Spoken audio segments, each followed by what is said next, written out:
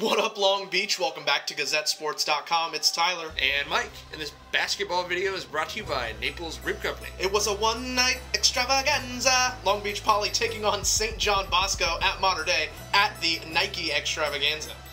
Roschon Prince and the Jackrabbits hoping to make a splash here in a big pre-playoff tune-up. Uh, they're ready to go, Tyler. A, a, budding rivalry between these schools, let's just say. Daniel Hamilton, the only Hamilton brother playing in this game, interestingly, and Tyler Dorsey, big-time scorer for the Braves. And that is the way you come out in a showcase with the kicks and the socks. And Bosco getting the first bucket on an oop, looking lively, but Poly would answer with Prince.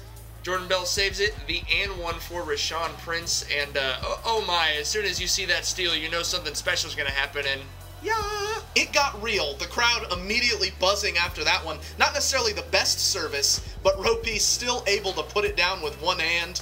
Uh, those two obviously loving that teamwork.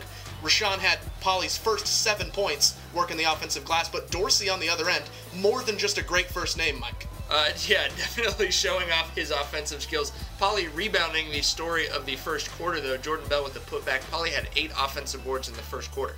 In the second, former Bosco Brave Cam Morrell got hot in that second. A couple of threes right here. He had nine points in that second eight minutes, getting a chance to play against his former teammates, the Bosco transfer.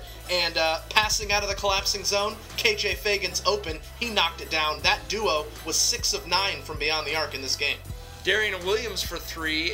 He and Daniel Hamilton keeping the Braves close as you see Dan Ham or D Ham or whatever kind of ham you want to say going and getting two right there. It's just 23 21 at the half. Bosco did a good job not letting Poly get too far away, and the third, just a seesaw battle back and forth. Dorsey, KJ, Nebo, Brian Nebo with the layup, then uh, the mash from Jordan Bell. A total seesaw in the third, Mike. The first 12 buckets were back and forth from each team. Nobody scored consecutive buckets until 12 field goals had been made. Unbelievable. Crazy. Row P with the and one, the toughness there, and Jordan Bell scoring again. But Poly just couldn't pull away because Bosco was finding Nebo again. He had nine points. As you can see, these teams really jostling one another. But again, the three pointers were big for Poly.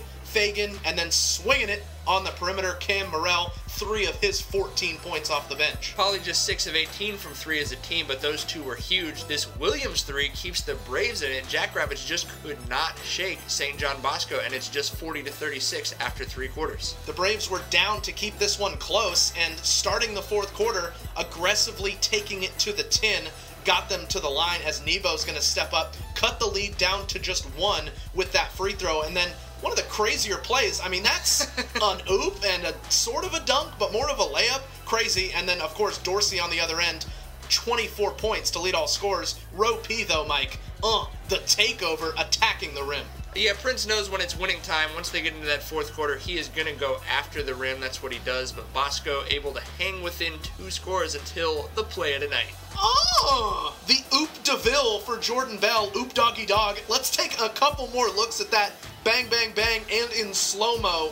The elevation, the authority, it was all there for Deuce, and obviously what the people came and paid for. Yeah, he says he likes to make plays like that to get his team excited. Uh, these don't get people excited, but they do win games. Roschon Prince getting to the free throw line. He was 6 of 6 in the fourth, made two one and ones uh, which was really big. Poly scored their final 11 points at the free throw line and went 12 of 14 in the fourth quarter as a team.